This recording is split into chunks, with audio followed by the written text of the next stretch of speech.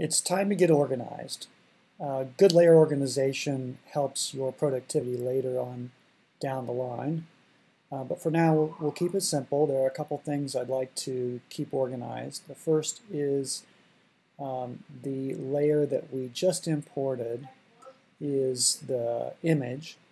And uh, just a little bit about layer 0. It's a great idea to draw things on layer 0. It's kind of a special layer but I think it's also a good idea to get them off of there when it, uh, it is um, convenient. So we're going to create a layer that we call image. We can turn this on and off. I'll show that here in a second.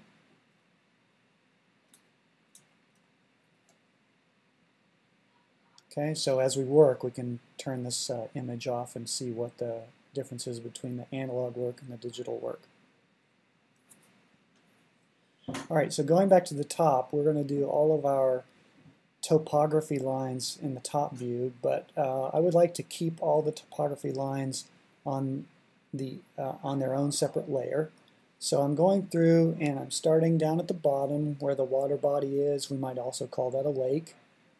And I'll be typing in two-digit numbers for the elevation. So if you've not looked at a topography plan before, these lines are kind of like a layer cake and stack up.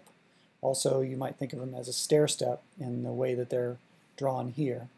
So every topography line represents a two foot increase in height.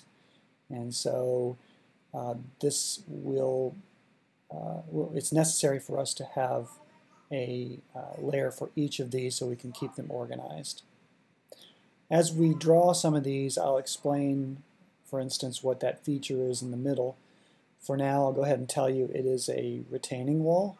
That's the thin line and a concrete pad on top of it. And this is a, a, a way of thinking about our building pad. So I'm continuing up 26 feet, 28 feet, and I'm going to go all the way to the top. I'm going to have to pan down here to see what my last elevation is. Okay, that's going to be 36 feet till I get to the main road. So imagine this site is up about 36 feet on the main road and then it tumbles down to the beautiful lake below and we're going to put our workshop in the woods there.